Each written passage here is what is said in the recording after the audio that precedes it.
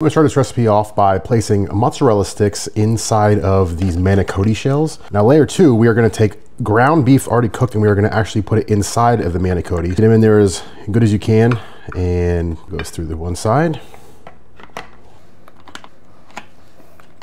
And once you have that entire layer done, what we're gonna do is we're gonna come in with some provolone cheese, some mozzarella cheese, some provolone cheese, some mozzarella cheese, and some provolone cheese. And now we're actually gonna come in with some pasta sauce of your choice. And we're gonna just kind of kind of dump it on this layer like this. Come in with some pepper,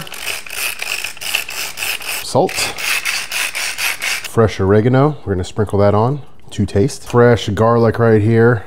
And we're just gonna go ahead and kind of, well, that kind of got away from me, but you get the point.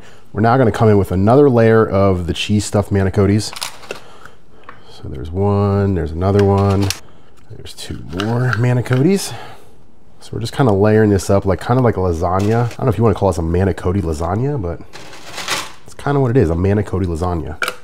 So now that we have this layer down, what we're going to do is we're going to take the remainder of this ground beef that we have and we're going to kind of just sprinkle it over this layer of the manicottis. Um, nice and even.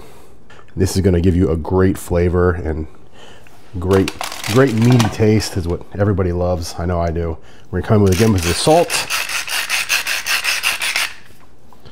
some pepper. You guess it, fresh oregano. Some more of that fresh garlic. There we go.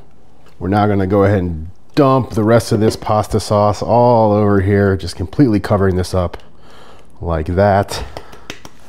We also have one and a half cups of water. This is gonna actually help with the cooking process of the manicottis. So we want to go ahead and dump that into.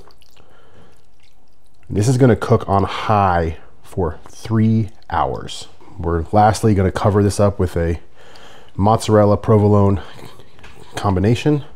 So that's what we're doing right here. This to give you an amazing crust, nice crunch, which most people like when they eat their manicotti pasta lasagna. So we'll see you when it's done. Okay, it's been four, four hours on high. Now we're gonna go ahead and get some of the meat, some of the cheese, some of the manicottes. oh, that is what I call lasagna from heaven. Look at that, guys, gals. And then of course we gotta put some fresh Parmesan cheese on there. Let's try to get some of the meat and some of the cheese. The Parmesan cheese, the, look at the cheese stretch on that from the, from the cheese sticks. But this is a super easy recipe you can make and it's gonna feed at least 10 people. Oh my God. Mm, 10 out of 10.